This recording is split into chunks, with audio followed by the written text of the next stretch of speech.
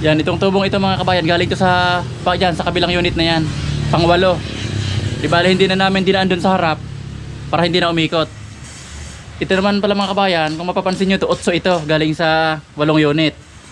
Tapos yung nilagay namin dito sa labasan niya, di 4 lang. Yan, baka isipin nyo mga kabayan, hindi kayanin ng 4 yung tubig na manggagaling dito sa D8.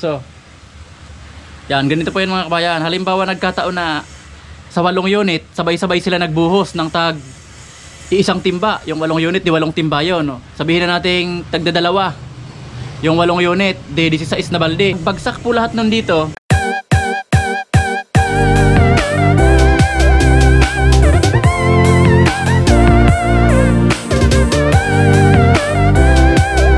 Pinapalinis ko na mga kabayan yung mga dulo ng tubo. Yan, pinapahukay ko na.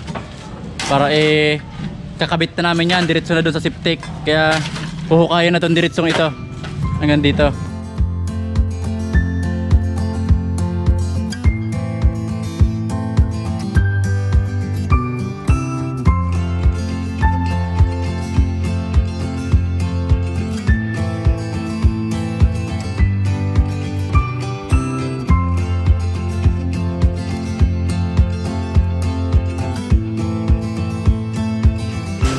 Kabayan yung tubo namin para dyan sa sewer line.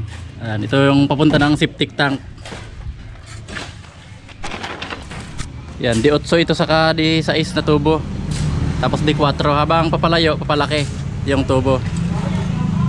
Ito na mga kabayan yung natatapos naming tubo. Yan yung papunta sa septic tank. Yan, ito yung galing sa CR. Yan, naka-connection ito sa water closet. Yan, kung mapapansin nyo mga kabayan, naka, nakaangat lang dito ng konti. Yan, habang lumalayo to, pababa siya. Bawat isang metro, isang sentimetro yan. Yan, ito galing dito sa CR din to. Yan, tapos pabulusok na siya dito. Yan, pagdating dito, dahil bumaba na yung tubo, ginamitan na natin ng dalawang 45 saka 4x4 na Y. Yan, tapos pagdating dito sa dulo, linakihan na natin yung tubo. Dahil tatlong unit na yung didiretso dito. Yan, kaya ginamitan natin ang reducer to na 6x4. Yan, D6 tapos D4. Yan yung reducer niya. Yan, pagdating dito, ito ulit yung sa CR. Yan na D4. Tapos dalawang 45, isang Y na 6x4. Ito 6. Ito yung 4. Yan. Yan, dito naman mga kabayan sa dugtungan namin ng D6 na tubo saka D8. Itong 8x6 na reducer, busing reducer ito. Yan, ito yung ikakabit namin dito para mapagdugtong namin yung D6 saka D8. Yan, tapos dito naman mga kabayan, bago mag 8, bago magdugtong ng 8, linagyan ko dito ng Y na 6x4 para gagawin namin yung clean out yan ito. Idudugtong ito dito. Tapos ito, isusukatin na lang ito kung hanggang saan yung simento dito sa ibabaw kasi may flooring pa to dito sa harap. Yung saktong-sakto lang siya sa ibabaw. Kaya huli na namin ito ikakabit. Yan, ito yung clean out para dito susundutin kung sakaling magbara. Susundutin to hanggang doon sa dulo. Yan, tapos pagdating naman dito sa dulo, ito naman yung reducer na 8x6. Yan. Pinagdugtungan namin yung D8 sa D6. Yan, tapos ito. Ito naman yung galing sa CR naman to. Yan, didiretso naman siya dito. Tapos ganoon din dito. Ayan. D8 na to lahat. Yan, diretso na po yan hanggang septic tank.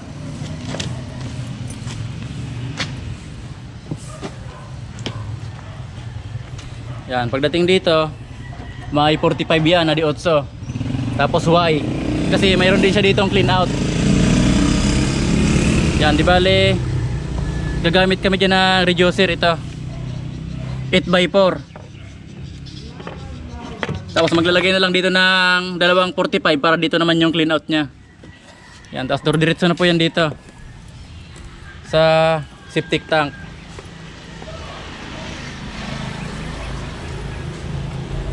Yan, tapos dito sa dulo may nakalagay na T na D8. Yan, tapos lalagyan ko na lang to dito ng reducer na 8x4. Yan, tapos may takip din dito. Dito naman siya susundutin kung sakaling magbara. Yan, mayroon to ditong flooring. Yung takip ng pinaka-septic tank. Yan, tapos yung takip lang yung nakalabas. Para doon susundutin kung sakaling magbara, bubuksan lang yon. Yan, tapos may divider pa po yun doon, dalawa. Di ba lilipat siya doon, tapos lipat doon sa kabila bago siya lalabas. Yan, may outlet po yan para hindi mapuno. Di bali, paglipat doon ng tubig, lipat doon, malinaw na po lalabas yan. Wala pong makakasamang dumi.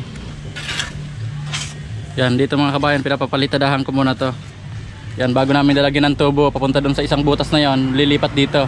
Hanggang sa papunta sa drainage. Yan, pinauna ko muna yung palitada. Yan, okay na mga kabayan, napalitadahan na yung loob. Yan, itong tubong ito mga kabayan natin, ito na yung galing sa 8 unit, sa mga CR. Yan, tapos yung ilalagay nating tubo doon, mas mababa po dito ng 1 inches, yan dito. Kaya lilibili natin to, para sigurado na mababa doon yung tubo natin.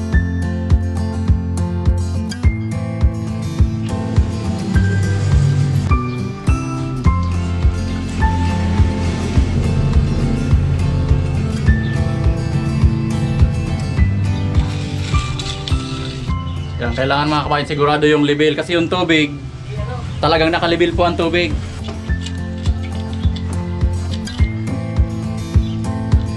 Yan, yan yung laser mga kabayan. Yan ngayon, dyan na lang kami magsusukat.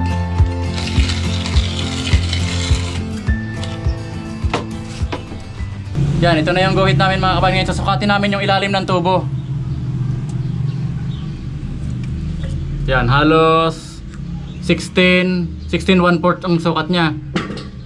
Yan, ngayon babawasan natin yan ng 1 inches. Yan, kaya doon sa kabila magiging 15 1 4 na lang siya.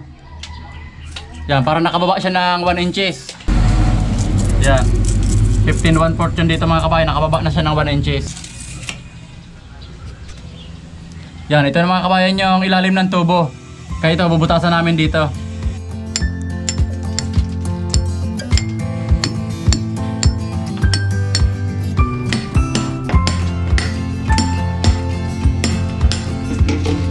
Yan, yan ang mga kabayan yung tubo natin. Tapos dito na naman tayo sa kabila. Yan, ito na mga kabayan yung naikabit nating tubo. Nalilipat dito sa kabila. Yan, tapos dito mga kabayan, maglalagay ulit tayo dyan. Yung tubo na yan ilalagay natin dyan, nakababa din dito ng 1 inches. Yan, paglipat dyan, ganun din po doon sa kabila. Paglipat na naman doon, yung tubo po na galing dito, nakababa naman po ng 1 inches yon. Didiretso na po sa drainage yun. Yan, yung tubig niyan mga kabayan, hanggang dito lang. Yan, kasi yung labasan doon, nakababa ng 1 inches. Yan, kaya ang laging tubig po niya nandito lang. Yan, di bali ito nakasubsob po ito. Yan ang purpose naman po kaya nakasubsob ito para yung amoy nung septic tank hindi na po babalik doon sa mga unit. Pero pag halimbawa po bago pa lang, syempre hindi pa po ito puno, may mga ventilation naman po tayo sa mga unit, doon siya sisingaw. Yan, ang tubig niyan mga kabayan hanggang dito sa guhit na to. Ito yung linibil natin. Yan, kung mapapansin nyo ito mga kabayan, naka, nakasubsob siya sa tubig. Yan, ang purpose po nito, yung dumi po dito, hindi na makakalipat sa kabila. Kasi po yung dumi, kadalasan lang naman po noon, nakalutang or nakalubog. Yan, kaya siguradong papasok dito, tubig lang po yan, papasok doon sa kabila. Yan, kung sakali man pong may mga kasama na mga maliliit, dito naman po siya, mayroon ulit siya dito. Yan, nakababa din niya ng 1 inches kisa dyan. Yan, tapos pagtagos po dito, ay naman po yung papunta na ng drainage, yan. Nakababa rin po yan ng 1 inches. Yan, tatagos na rin yan mga kabayan sa kabila. Papunta na ng drainage yan, ayan. Yan, diretso na po yan dyan sa drainage dyan sa may gilid ng kalsada. Yan, itong tubong ito mga kabayan, galing to sa, pa, dyan, sa kabilang unit na yan. Pangwalo. Di bale, hindi na namin dinaan dun sa harap para hindi na umikot.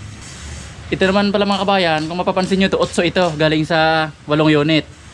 Tapos yung nilagay namin dito sa labasan niya, di 4 lang. Yan, baka isipin nyo mga kabayan, hindi kayanin ng 4 yung tubig na manggagaling dito sa D8. Yan, ganito po yun mga kabayan. Halimbawa nagkataon na sa 8 unit, sabay-sabay sila nagbuhos ng tag iisang timba. Yung walong unit, di walong timba yun. No? Sabihin na nating tagdadalawa. Yung walong unit, di 16 na balde. Pagbagsak po lahat nun dito, hindi niya naman po mapapaangat yung tubig.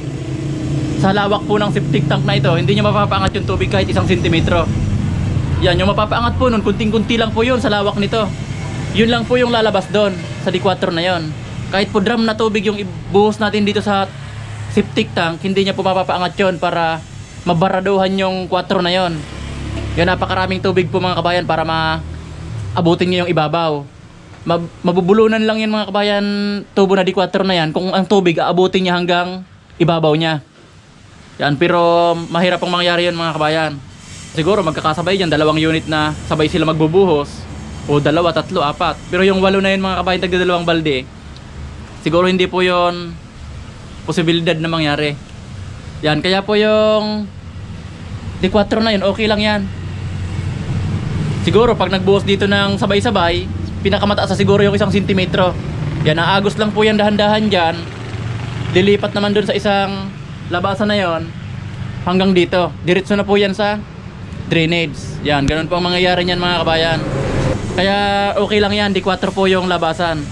Kahit nga po D3, kaya po niyan. Kaso ginawa na namin D4. Yan, ganun po mga kabayan. Di bali yung kasunod na lang nito, takip na lang nito. Yung isusunod namin, yung slab nito. Tapos yung slab nito, diretso na namin dun sa wall na yon.